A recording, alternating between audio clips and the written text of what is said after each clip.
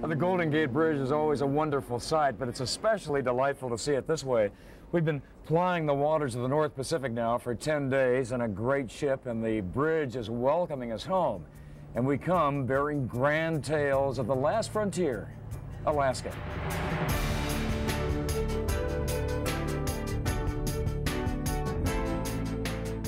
It is a mythical land. The images of its glaciers, icy peaks, and deep fjords live in our imaginations. A fabled place, rich with whales and bears and eagles. Alaska is majestic and rugged, the one American place where nature has not yet been corralled. Its wildness still surrounds and dominates people. It's the images of that wildness that draws us to Vancouver, Canada.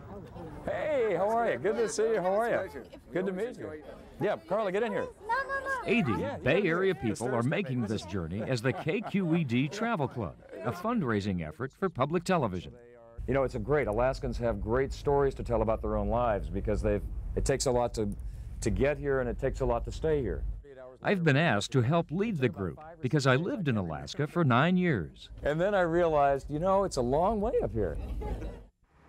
Our 10 day journey aboard the Royal Odyssey takes us through southeast Alaska, a 500 mile stretch of islands and waterways along the border of British Columbia. We'll visit Ketchikan, Juneau, Glacier Bay, Skagway, and Sitka. We sail the Inside Passage, slipping quietly past waterfalls and isolated villages. The scenery promises to become more and more dramatic as we travel north. For now, we await Ketchikan, hoping to avoid its legendary rainfall. Well, guess what? It was raining this morning in Ketchikan, so I've got wet hair, but it's clearing up. You know, who knows what'll happen. You know, when I lived here, it always amazed me to see these huge ships dwarf the small little town. Ketchikan thrives on tourism, but it's also a center for salmon fishing. The town was founded on the site of an historic Tlingit Indian fishing camp. Creek Street is Ketchikan's best known and most photographed section. Creek Street has a notorious history. It was once upon a time Ketchikan's red light district, where, as they said, the men and the salmon came to spawn. Sure he wants to tour Dolly's house. Best tour he's gonna find. Take all the photos. The bordellos and saloons of yesteryear have been transformed into boutiques, gift shops, and restaurants, catering to tourists in the summer months. Our stay in Ketchikan will last six hours, just enough time for us to get into the countryside. Off to the left is the Tongass National Rainforest. Kevin Carithers is our guide on Lake Harriet Hunt. It's the second largest rainforest in the world with 16 million acres, seconded only by the Amazon rainforest. Kevin is from Sacramento. I love the outdoors, so I'm in awe up here. I, I have no idea what to do with myself. It's great. The peacefulness of the lake is broken only by the high spirits of fellow travelers and by the sound of our own echoes.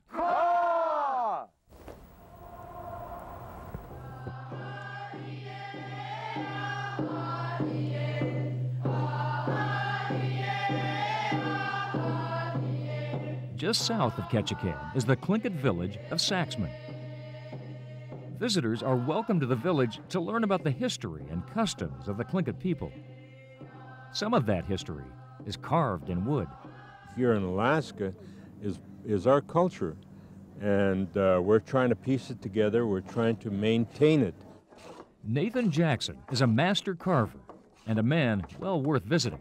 What we have to offer is what people can be able to see.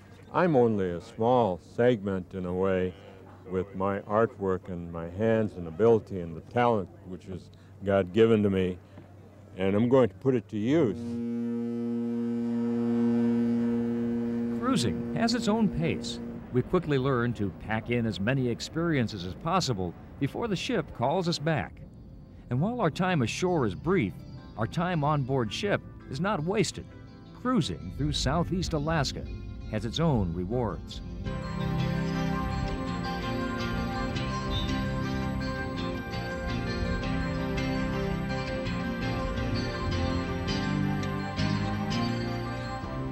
When we come back, one perfect afternoon in Alaska.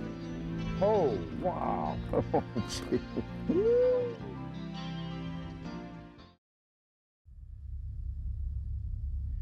Our next port of call is Juneau, population only about 30,000. It is America's most isolated state capital. You can't drive to Juneau from anywhere else in Alaska. There are no roads in or out.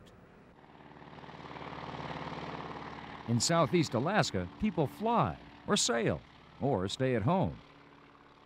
Juneau is a thriving slice of civilization surrounded by rugged mountains. It has the energy of a state capital, but retains its small town charm. This is the governor's house. You can walk right up and ring the bell. And the Mendenhall Glacier pushes down the mountain and inside the city limits. Bill, what do you think about this? Pardon? What do you think about this? Is it getting pretty crazy? So that's fun. Such fun. My good friend Bill Wheaton is traveling with me on this trip. Bill and I have shared many adventures over the years, and today we're planning another one, exploring glaciers and searching for wildlife. You know, glis-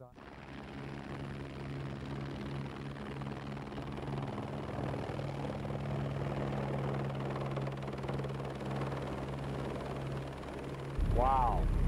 Oh man, look. A journey by helicopter offers an exciting perspective of the Mendenhall Glacier. The ice field is 1,500 square miles. Bob Brown is our pilot and glacier guide.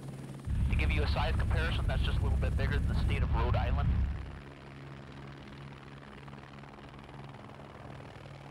Sometimes when I have people sitting in the front seat of the aircraft, see it for the first time when I come up the ridge, or their jaw opens up, and they're just like, wow, I never thought I'd ever see this. The Mendenhall Glacier is about 12 miles long. It pushes forward at about two feet per day, but it recedes nearly three, melting into a small lake. Over the past 250 years, it has shrunk several miles back into the Mendenhall Valley. All Got right. Wow, look at this. Can you believe it? It's beautiful. It's beautiful. Oh man. Uh. Look it out, look it out this way. This is incredible blue lake sitting out this way.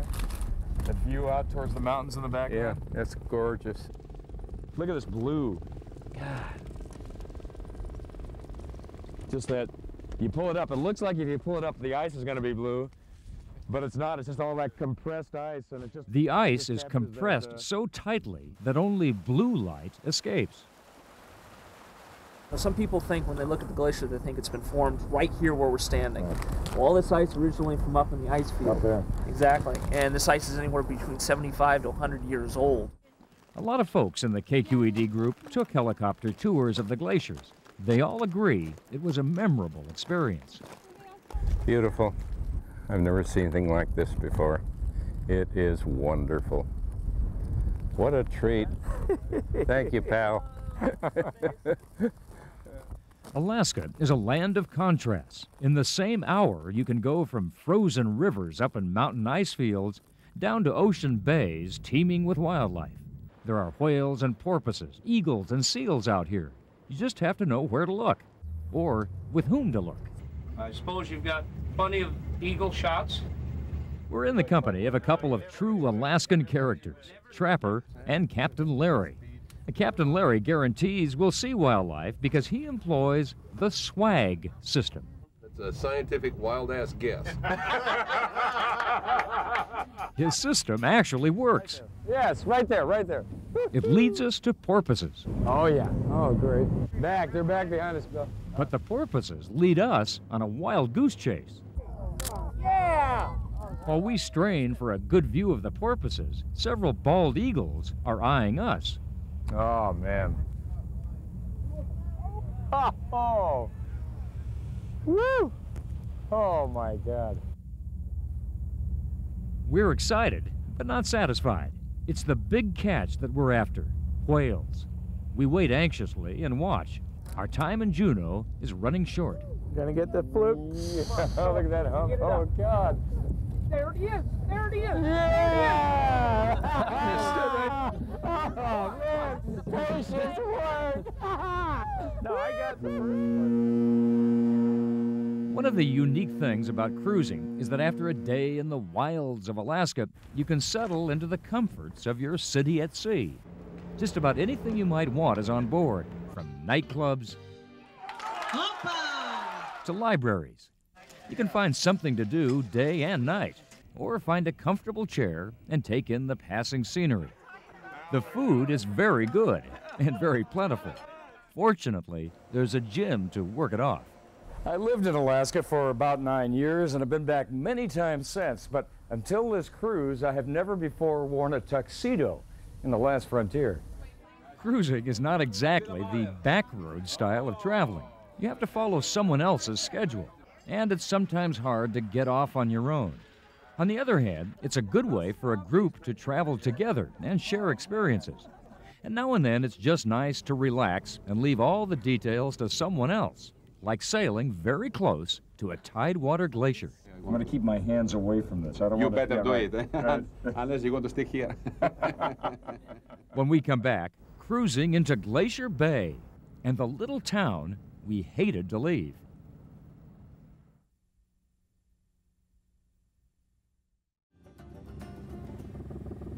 Our next stop is Skagway, a little town that boomed big time during the great gold rush of the 1890s.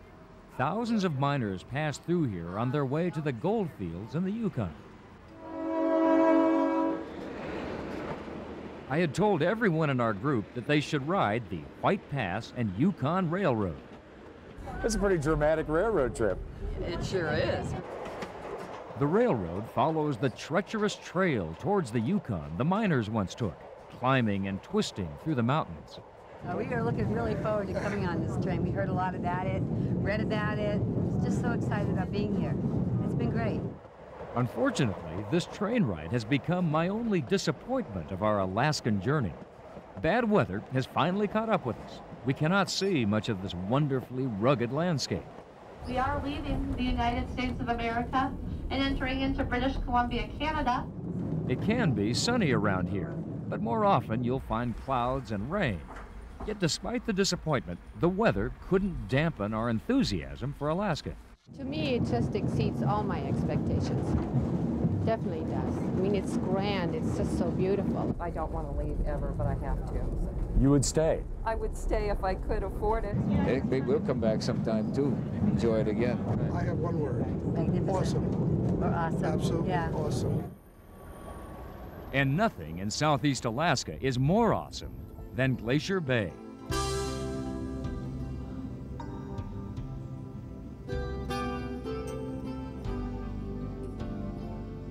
Glacier Bay was probably the most anticipated destination of our entire trip. Everyone got up early and came outside to see this little ice age. We notice it's gotten very quiet on board. David Tilford is a ranger at Glacier Bay National Park. Well, it's kind of, it is interesting to see their faces. They've been traveling on a fairly luxurious cruise ship and uh, going into the ports and looking at the gift shops. And they get up here and you see their eyes get a little bit wider and their jaw drop just a little bit. Ah, yes. There we go. Oh. Whoa! Nice fall, eh? You see that? In the distance, we could see ice falls crashing into the sea. Oh, there it goes. There it goes somewhere. Right there. Whoa! Start screaming! Since I cannot use the whistle. It's much more than I ever even had imagined. And the color is, the colors are just beautiful, absolutely beautiful. John Muir was the first non native person to explore Glacier Bay in 1879 by canoe. It'd be nice to see Glacier Bay in the bright sunlight, but this is the way John Muir first saw it, shrouded in mystery. 200 years ago, there was no Glacier Bay. This was solid ice. The glacier has receded an incredible 70 miles in just 200 years.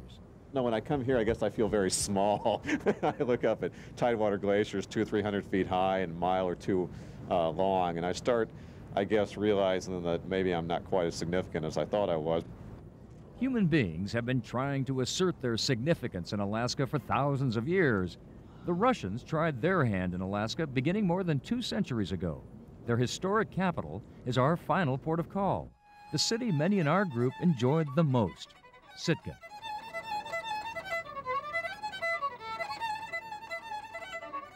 Sitka is a treasury of Russian history, native culture, and Alaskan wilderness.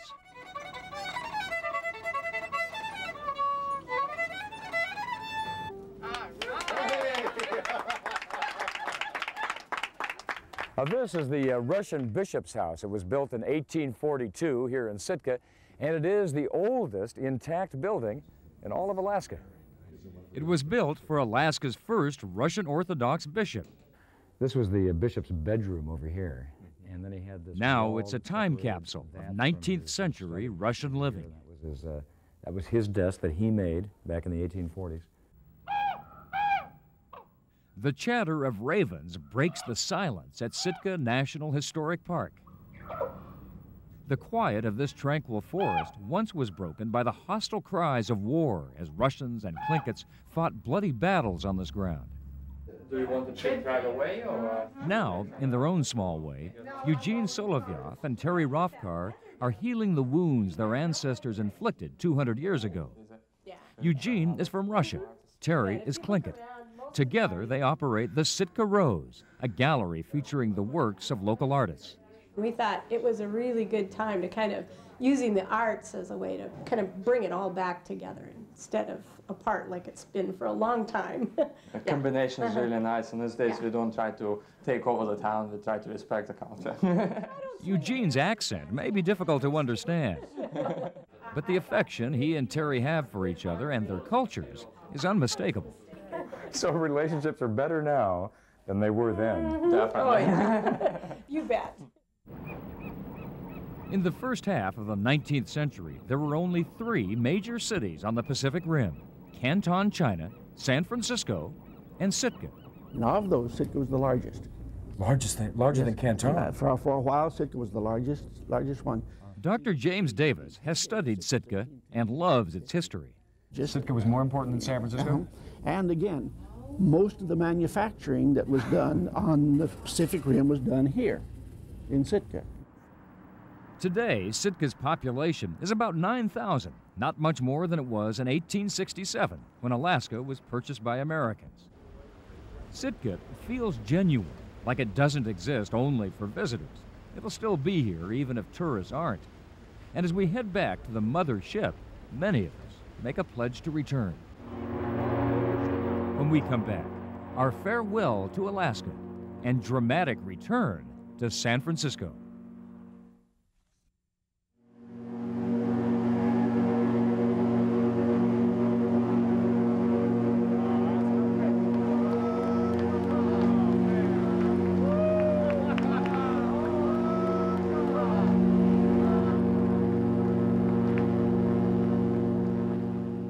I'd never cruised to Alaska before.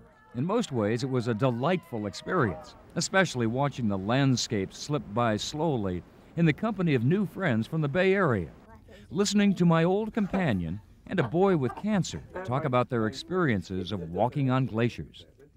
I've been up in helicopters before, but never landed on a glacier. And it was so beautiful from up there. I, I really loved that. Cruising is a deceptive experience, too, far more comfortable and forgiving than Alaska itself. Alaska is always prepared to exact a price from those who forget they're in a wild place. I suspect that's what compels many of us to visit. There is wonder beyond our control in this last great fortress of nature. It dwarfs our big ships and reminds us that nature still demands our respect.